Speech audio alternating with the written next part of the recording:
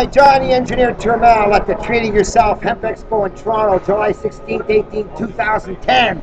And today I'm with Doug and Laurie Nielsen, who were fighters way back in 2003 and 2004, in the early days, just after we found out about Polcola.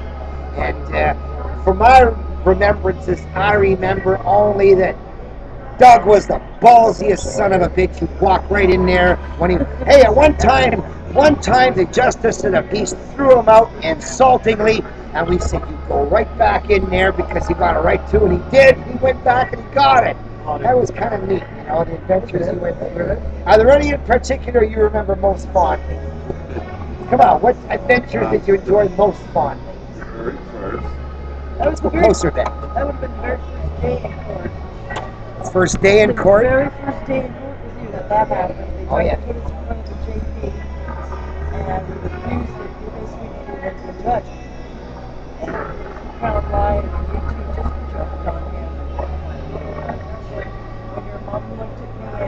Grabbed my wrist and said, "You got the car keys right," I just said, "Wrong." That's the first day in court. So that was probably one of the most memorable.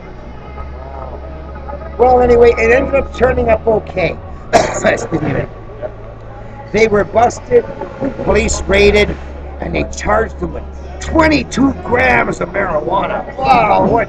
18 even worse. We had, we had With the purpose.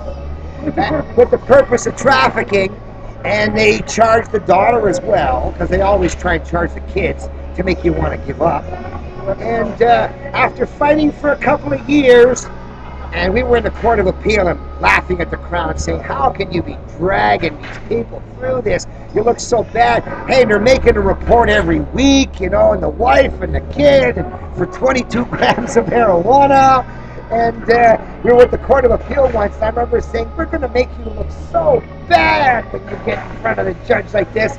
And next thing you know, they're offering Dougie, look at Doug, if you just plead to possession, we'll let the wife go, the kid go, all the other charges, give you back your stuff, just sign possession. And Doug says, well, what should I do? And I remember thinking, well, we're going to overturn possession for everybody anyway. We don't need you in the front line. Take the deal. It's a gold mine. Family off the hook, over, get your stuff back. So that's what I consider one of my happier end results was the Nielsen family here. And even if someone else wins, his possession offense will then be erased anyway, so that nothing to lose. He had to take the great deal. Other people have too. Remember the Johnsons? Yeah. He was another guy up in Northern Ontario, wife and daughter busted too, and he ended up offering him the same deal after a while. Just sign for possession and we'll let you go, and they do. So you can't turn down a deal when it gets that good, especially when the fight is going to continue on anyway. So we, and I thank them. They brought the tables to the thing, and they've supported me whenever I needed help. And they've been my closest and best allies over the last six years. So I just want to take these few minutes to reminisce about our good times, our good battles of comrades in arms, and say that uh, I think the end time is here. You know, the, way- the way things are moving, and well, the crown mistakes and the stuff we found recently has really changed everything. Eh? So when we were fighting, it was all theory, and now it's not only theory, but the crown admitted it too. So it's kind of nice. That's a big mistake on his Yeah, part. and don't forget the video was done at the same time. Video?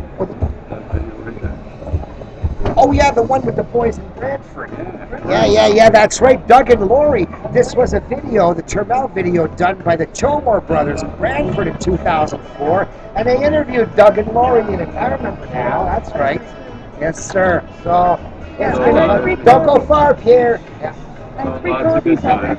Pardon? I had three copies of it, and all three never came back. All right, here's another one. No, I think Is this, I've this got is the way to one get. back. I think I've got one back again finally. Oh, yeah. My daughter takes it everywhere she goes. My youngest. Well, anyway, I just wanted to reminisce with some of the heroes of the Medpot fight in Canada.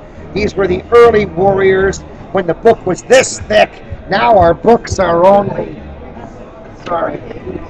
Now our books are only this thick, okay? Their book was this thick. Their book was that thick.